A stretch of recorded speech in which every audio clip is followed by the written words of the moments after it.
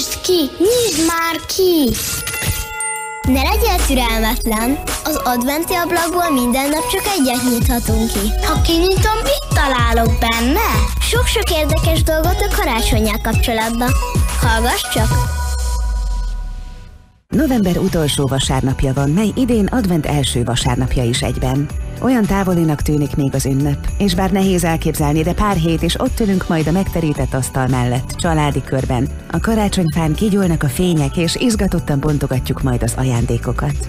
Onnan visszatekintve egyetlen szempillantásnak tűnik majd advent időszaka. Az ünnep persze nem varázsütésre érkezik. Meg kell teremtenünk az otthonunkban és önmagunkban is. Ebben segít a következő négy hét. Sok akadályt kell most leküzdenünk, hisz a munkahelyeken nyomozt bennünket az évvégi zárás, az üzletekben az emelkedő árak, az odakin növekvő sötétség. Ilyenkor minden felgyorsul, mi kapkodva próbáljuk a lépést tartani, pedig az adventi időszak lényege éppen a lelassulás, a csöndes várakozás, az egymásra és a befelé figyelés. Erre figyelmeztet az adventi koszorúkon ma fellobbanó első gyertyalángja.